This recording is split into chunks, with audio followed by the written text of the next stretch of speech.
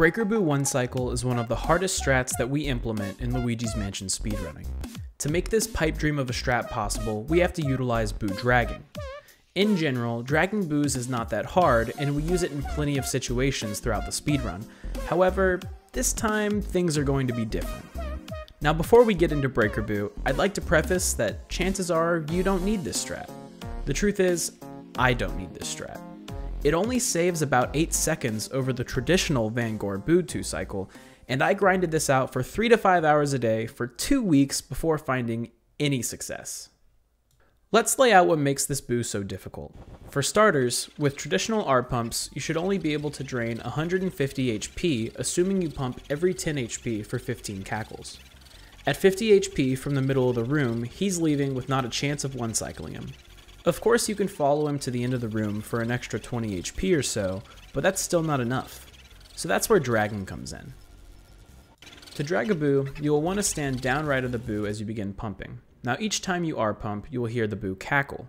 The cackle consists of two parts, the lower pitched cack and the higher pitched ul. Right after the cack, you'll want to move right to drag the boo, and then back toward the boo as you release R. Before the boo begins to fly away, R pump again once you have stopped moving. So I have the rhythm down of dragging, so I'm ready to one cycle, right? Wrong. The rhythm of dragging the boo is only the beginning. As we drag the boo, there is always the chance that he goes too high and double cackles, or too low and you can't get any distance in your drag. To combat this, each drag we adjust the height by holding up or down on the C-stick. You will only want to hold the C-stick as you are moving back. Adding this element makes the Breaker Boo 1 cycle the most involved strat in the game. When you begin to learn this strat, it's best to get the rhythm of dragging down before anything else. Trying to focus on the rhythm and adjusting the height of the boo at the same time can be very difficult. It's too much for the brain to process in the one second of time you spend each pump. The rhythm should be second nature, that way you can really pay attention to the height adjustment and get a good feel for it. If you find that you are getting lots of double cackles, there can be multiple reasons why. You could be too close, too far away, dragging too far, the boo could be too high, or even too low, but that one's a little rare. Once you feel that you have down the fundamentals of dragging and want to actually give it a try, here's how I would approach it.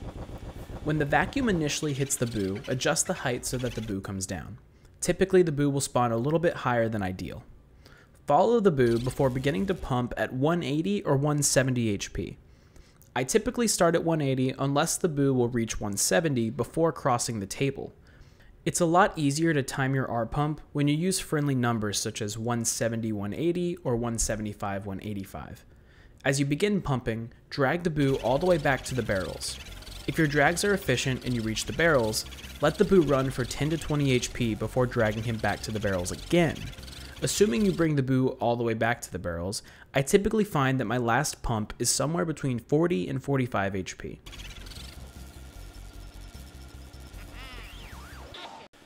The reason I don't want the boo to reach the table before I begin pumping is that sometimes the tablecloth can hit the vacuum, making it hard to properly drag back the boo. This is extra important when doing the tech skip because it's possible to suck off the tablecloth and instantly lose the boo. Speaking of the tech skip, there is a specific way to set this up that makes the timing more lenient. Oh, Upon opening the chest after turning back on the power, hold left on the analog stick, vacuum cancel, and grab the cloth. This should allow you to grab the corner of the cloth specifically.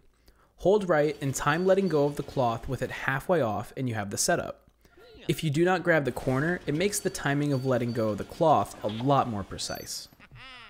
When doing this setup, it's important to try and be quick, because if the boo is in the top left barrel, it will spawn as you're pulling off the cloth. If you mess up and pull off the cloth with the boo in the top left barrel, do not land on the key with the cloth. Instead, walk into the key, then vacuum cancel for the boo. If you land on the key, Luigi will stumble after picking it up, giving the boo time to move before you can get to it.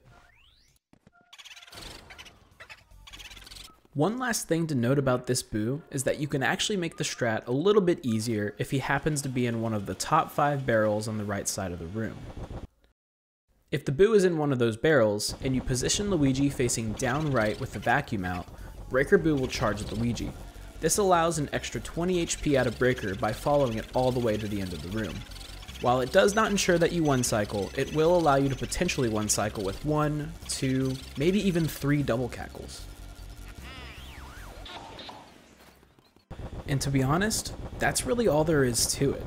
Breaker One Cycle truly is a strat that you have to feel out and ram your head into over and over again until it just makes sense. There is no secret to make you consistent at this strat other than hard work.